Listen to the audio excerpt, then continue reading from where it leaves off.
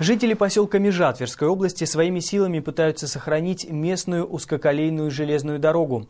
Чтобы она окончательно не разрушилась, каждый ее чинит как может. В основном узкоколейкой пользуются охотники и грибники. И единственное средство передвижения для них здесь – это самодельные дрезины. Наш корреспондент совершил путешествие по исчезающей дороге. Поселок Межа сторожилы по-прежнему именуют станцией и к журналистам относятся с некоторым подозрением. Объект хоть и заброшенный порядком, но все же такой же стратегический. Я наговорю, то потом меня в тюрьму посадят. Тем не менее, после долгих уговоров, так и не назвав фамилии, в прошлом главный диспетчер Межи все же сдается. 40 километров в эту сторону, вот такие, ну и, наверное, километров 30 туда. Вот Курова там было участок. Угу. Километраж большой был. Угу. Так это все было, было, теперь поздно снимать.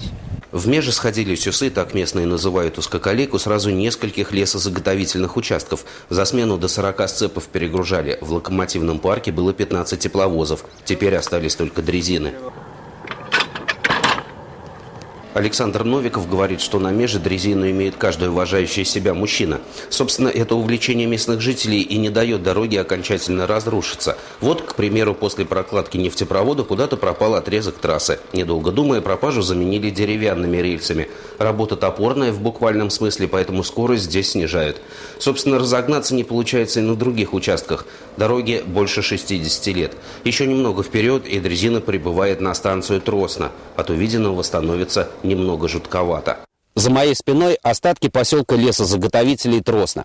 Если проехать чуть-чуть вперед, там будет река Троснянка и старый полуразрушенный железнодорожный мост. По нему еще можно проехать, но местные жители стараются без надобности туда не соваться.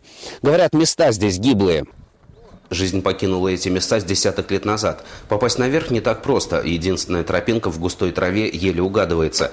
Сохранились яблони, но Антоновку никто не собирает. Есть ничья водонапорная башня, но металлолом опять же никому не интересен.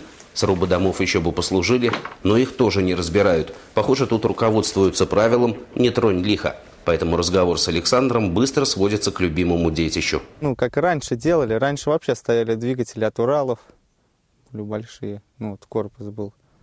А так, ну вот был корпус, просто движок поменяли, от, от восхода поставили и все. Местный сталкер между тем торопит. Впереди еще один интересный объект. Тот самый полуразрушенный мост. Со стороны он выглядит чудом инженерной мысли, но многотонные составы с лесом все же выдерживал. Дальше дорога тянется еще километров на 20. Конечная остановка – бескрайнее болото.